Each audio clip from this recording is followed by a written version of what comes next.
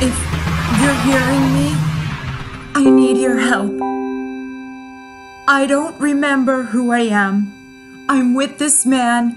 His name is Rydell. He tells me my name is Poppy. That's all I know for sure. I I'm being held hostage. He gives me drugs makes me do really, really bad things to people he doesn't like. I don't want this life anymore. I never did. I I want to get clean and I I want to stop doing what he tells me to do. I'm begging you, please. If you get this, come find me. I know is that I'm in a small apartment in Brooklyn. But be very careful. He has lots of weapons, and his friends have lots of weapons.